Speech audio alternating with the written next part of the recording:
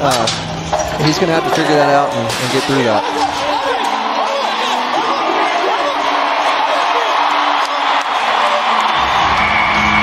That is just what we have come to expect. Not only the ride, but how about that?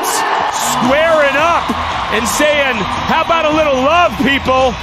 Leme is gonna like that one, as that will give him a chance to come back on one with 86 and a half. Yeah, I'd say he's got it figured out. And I mean, that's textbook Leme right there. I mean, just riding the bull jump for jump, being just a touch behind and catching back up. I mean, making it look pretty right there. I mean, that's that's the Leme we're used to seeing. Well, and it goes back right, Coop, to how we began this show. You can never count him out of a title run because at any given time, that's just going to become the norm. Yeah, big time situations, pressure doesn't bother him. I mean, Jose Leme is is you know he's at what everybody wants to be in this sport.